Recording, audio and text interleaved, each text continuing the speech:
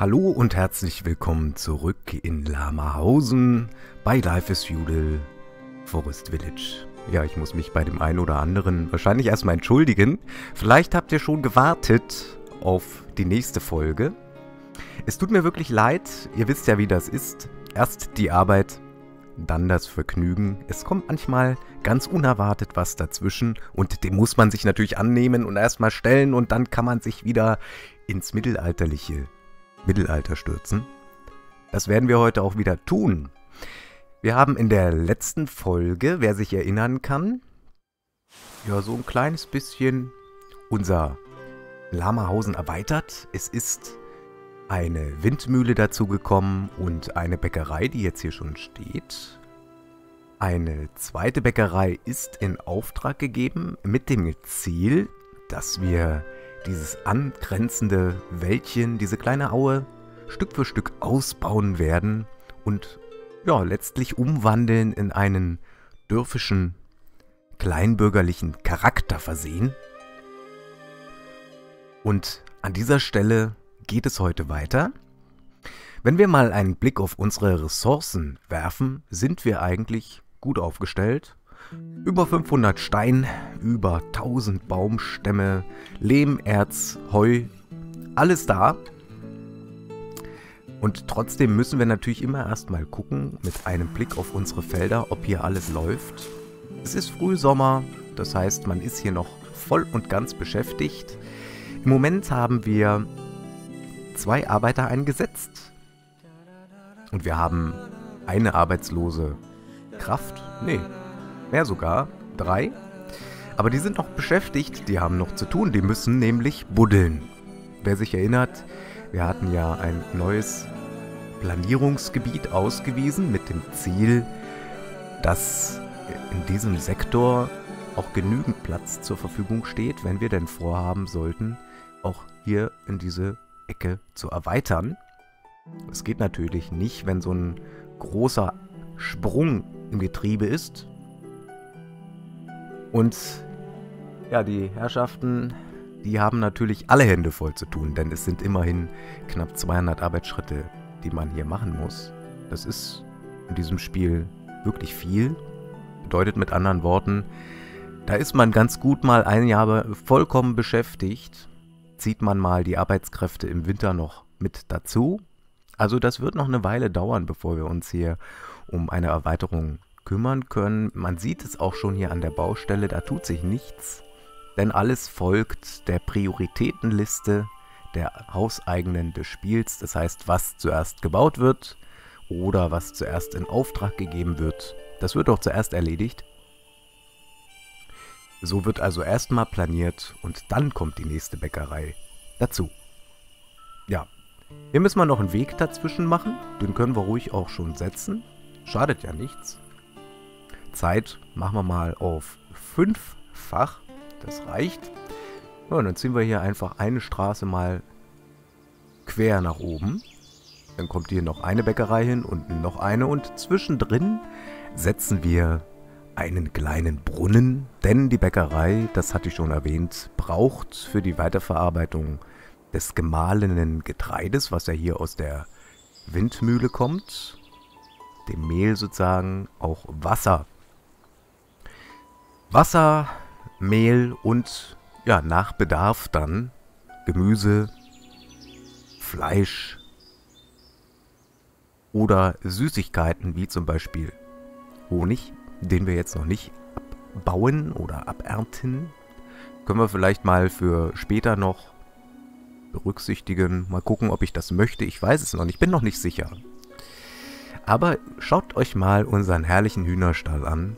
Also der hat sich richtig gemausert, ja. Wie viele Tiere haben wir denn schätzungsweise? Lass mal schätzen. Ich schätze 15. Was meint ihr?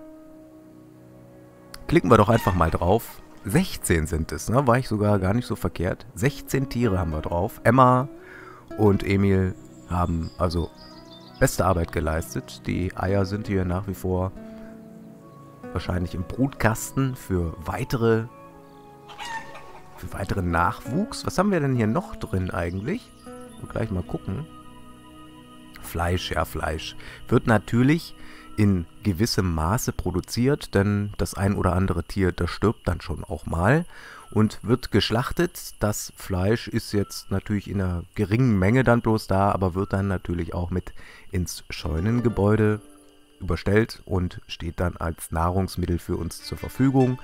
Das ist also ganz okay so. Ja, unsere Fischerhütten 1 und 2 sind im Einsatz auch voll besetzt. Sechs Fische haben wir, für drei weitere gibt es noch Platz. Der Holzschnetzler ist im Moment nicht im Einsatz. Wir haben noch 1300 Feuerholz. Das reicht im Moment auch noch. Aber nach dem Winter müssen wir da auch wieder jemanden einsetzen. Wie sieht es in der Schneiderei aus? Gut, da haben wir jetzt 65 Kleidungsstücke. Aber die Werkzeuge werden baldigst wieder ein kleines Problem darstellen, denn die 14, die wir im Moment haben, werden relativ schnell verbraucht werden. Das heißt, auch da müssen wir gucken, dass wir dann in dem nächsten Jahr einfach vielleicht auch wieder den ein oder anderen Arbeit, Arbeiter abzweigen können, der sich dann wieder um die Werkzeugproduktion kümmert. Hier sieht aber alles bestens aus, alles steht im Saft. Und jetzt bin ich wirklich froh, dass wir in der letzten Folge uns darüber Gedanken gemacht haben, wo das nächste Feld hinkommt. Ist auch schon in Auftrag gegeben, auch wenn noch nicht gebaut. Das ist natürlich alles wieder Sache der Prioritätenliste. Ich habe es ja gerade gesagt. Das heißt, ich vermute, dass nach der Planierung erst einmal die Bäckerei gebaut wird und dann dieses Feld. Wir könnten zwar jetzt hier zwangsweise jemanden reinsetzen, aber so drückt der Schuh auch noch nicht. Aber was wir sehen können, das ist, dass die Vermutung tatsächlich eingetreten ist. Die Gemüsereserven nehmen also radikal ab. Anders kann man es gar nicht sagen, außer radikal. So, das Haferfeld ist in der ersten Runde durch.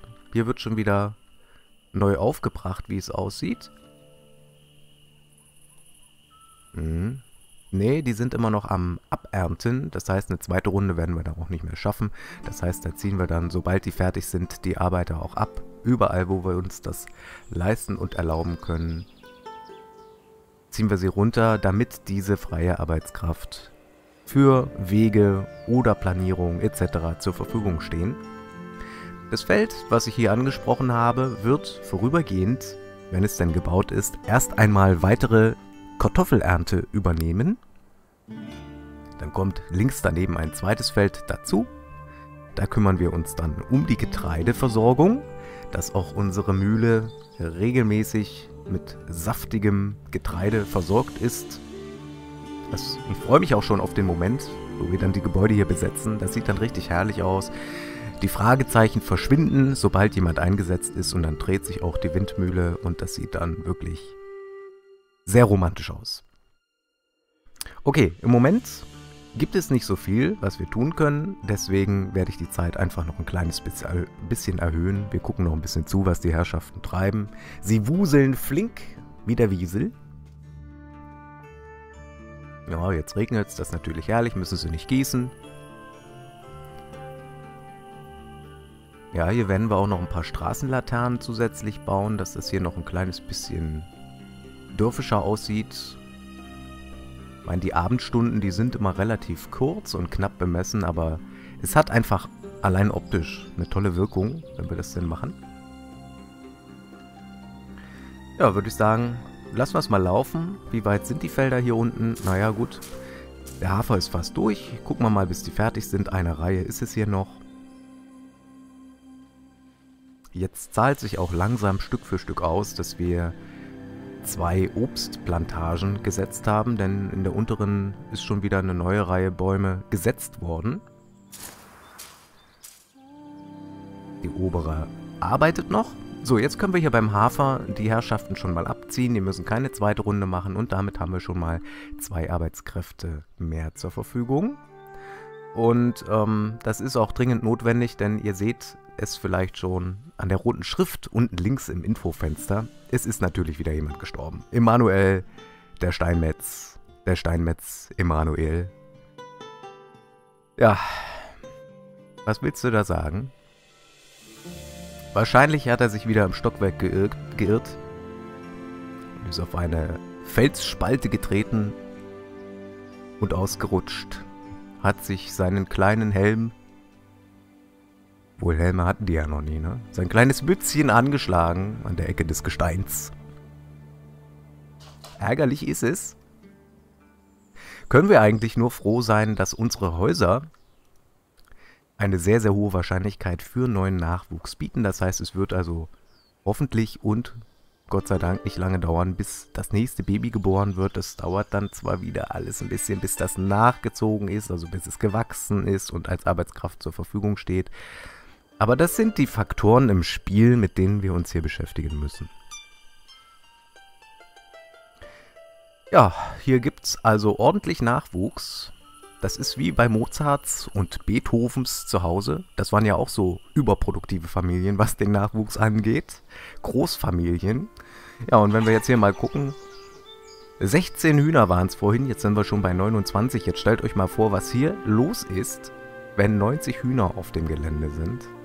Mein lieber Mann, das wird aber ein Eierfestival.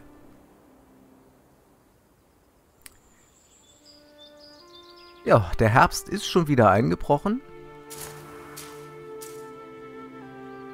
Hier haben wir wieder den Hinweis, das Lager ist voll. Das heißt, hier können wir auch den Arbeiter schon mal wieder abziehen. Ich meine, klar, das wird natürlich auch bald wieder verbraucht. Spätestens dann, wenn wir neue Gebäude in Auftrag geben und die natürlich dann für den Bau, die Baumaßnahmen auch das Heu benötigen. Im Moment haben wir ja noch keine Tiere, die Heu verbrauchen könnte alles später noch kommen, wenn wir dann zum Beispiel ein Entdeckerschiff auf Reise schicken und man dann die Kühe erkundet und für den Eigenbedarf mitbringt über See. Dann könnte man einen Kuhstall errichten oder so ein Gehege für die Kühe und die brauchen dann allerdings auch das Heu.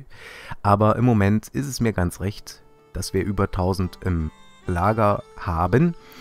Und es ist natürlich schön, wenn man weiß, die Lager sind voll, auch wenn jetzt hier unten schon wieder rot markiert steht, die Nahrungsreserven seien niedrig. Wir wissen, es ist nicht so.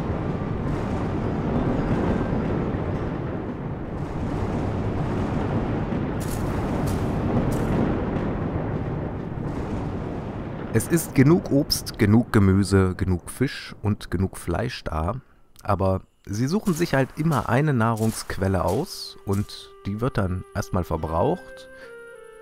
Und sobald die dann aufgebraucht ist, kommt dieser Hinweis. Vorsicht, wir haben nichts zu essen. Also können wir schon mal ausmachen, dass wir einen sehr, sehr hübschen Grundstock an Nahrungsmitteln und äh, ja, Ressourcen besitzen, und damit das Ganze natürlich nicht zum Stillstand kommen wird oder zum ja, Erliegen kommt, werden wir hier auch noch eine zweite Lagerstätte mit dazu nehmen. Das soll immer möglichst alles schön eingelagert bleiben. Deswegen nehmen wir hier noch ein Lagerhaus dazu. Da kommen dann also Holz und andere Ressourcen rein. Die Scheune hier, ja gut, ich meine, das ist schon wieder fast voll angezeigt, aber ich glaube nicht, dass wir das jetzt komplett ausreizen oder auskosten müssen. Auch hier haben wir ja noch ein bisschen Puffer, denn die Scheune ist noch nicht prall gefüllt. Also da müssen Sie sich dann einfach mal was einfallen lassen, vielleicht den ein oder anderen Meter mehr laufen und das einfach so ein bisschen aufteilen. Soll mir recht sein. Ja, und jetzt wenn sich der Nebel verzieht, schauen wir mal, wie weit sind sie denn hier? 131, 132 mal geschippt. Jawohl. Sieht auch schon viel besser aus. Ja, hier kann man auch schön erkennen, was sie schon weggenommen haben. An dieser Schräge hier hinten sieht man das herrlich. Aber es ist noch ein bisschen zu tun.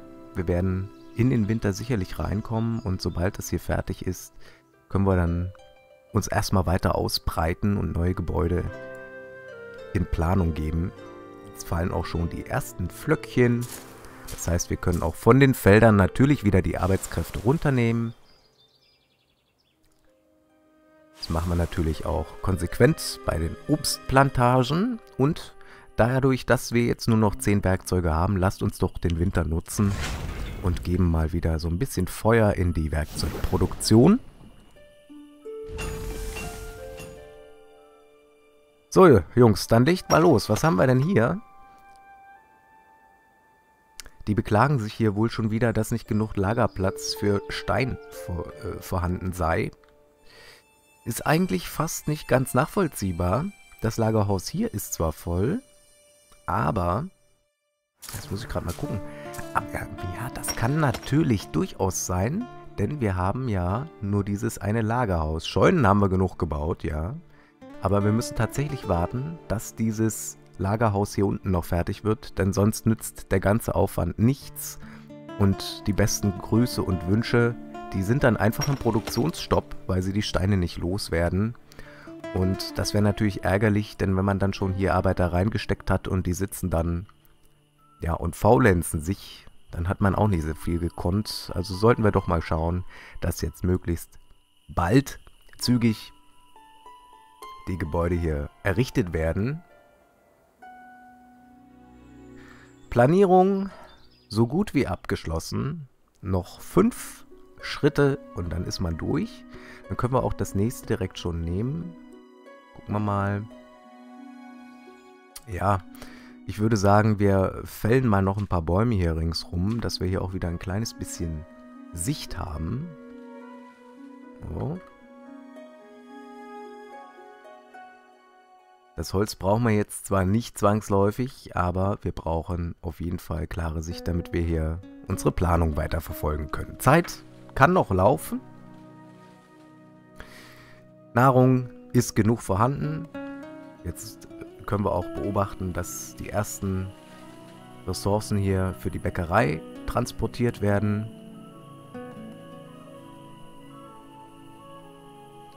Zwölf Arbeiter sind im Einsatz. Sollte also nicht allzu lang dauern.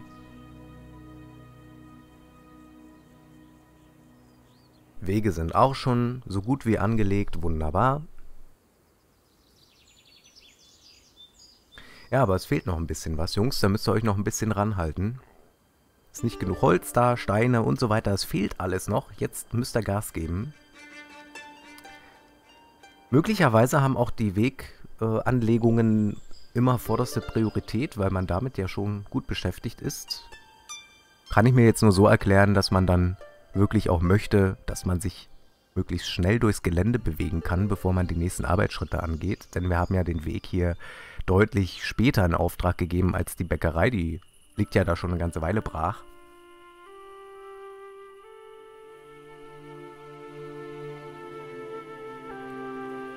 Ja, Jungs, Zeit wird's, aber was man hier auf jeden Fall schon angelegt hat, ist das Feld. Da muss noch ein bisschen geklopft und gehämmert werden, dann ist das durch. Da können wir also dann sehr wahrscheinlich im Frühjahr damit beginnen, Kartoffeln anzusetzen.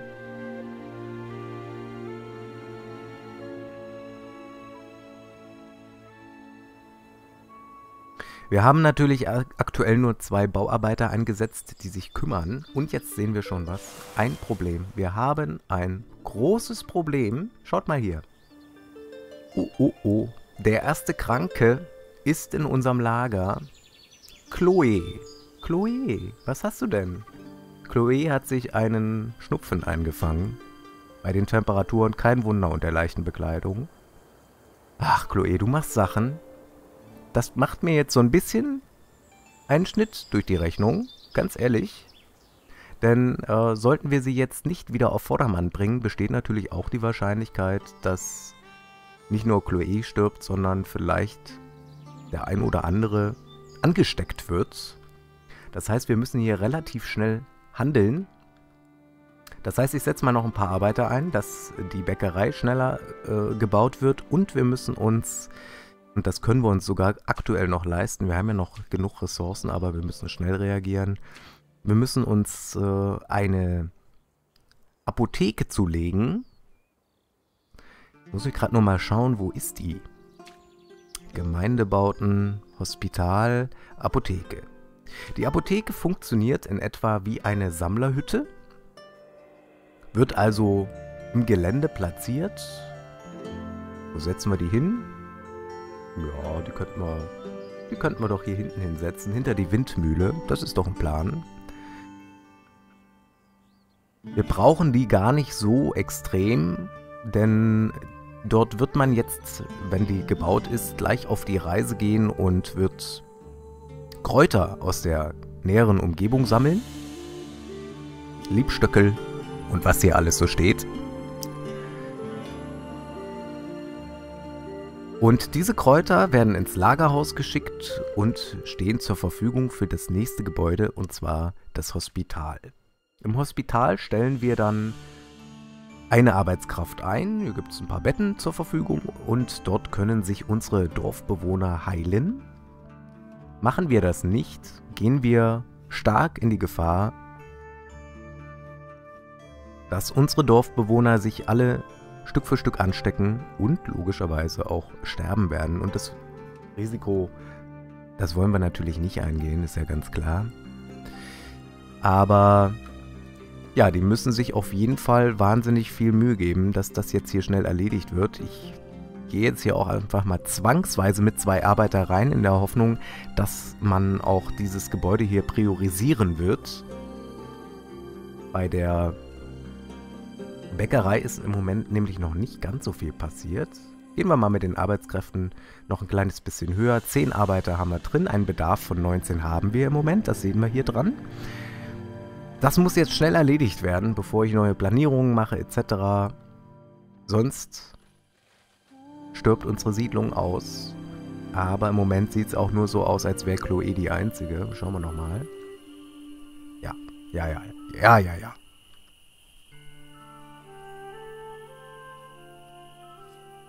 Chloe.